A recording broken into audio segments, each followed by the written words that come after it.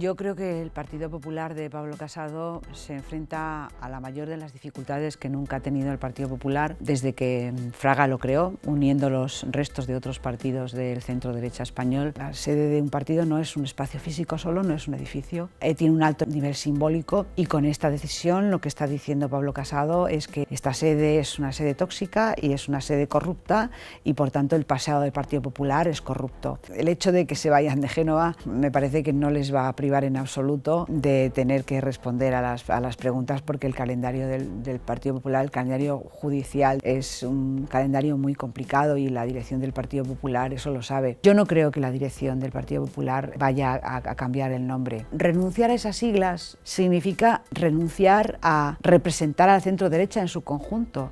Renunciar a esas siglas significa renunciar a la, a la razón social de ese partido. ¿no? Pues Ciudadanos yo creo que francamente se enfrenta a su propia supervivencia. ¿no? Creo que el ejemplo de UPyD está ahí y creo que les, debe, les debería llevar, en mi opinión, a hacer una reflexión sobre su propia supervivencia como partido político en solitario. ¿no? Ya no es que nadie se avergüence de votar a Vox, es que la gente presume de votar a Vox. Yo tiendo a pensar que es muy difícil que el partido Vox pueda llegar a tener la hegemonía del centro derecha porque yo es que creo que hay mucha gente en el centro derecha que nunca votaría a Vox. Yo creo que mm, el partido Vox, como le pasó a Podemos también en un primer momento, quiere testar, quiere ver, quiere llegar al final para saber si es verdad que fuera posible eh, pasar por delante del Partido Popular. Es famoso sorpaso, salvo que pasen cosas, acontecimientos que en este momento no son esperados. Creo que sí que Pablo Casado llegará a las siguientes elecciones como candidato del Partido Popular a la presidencia del Gobierno.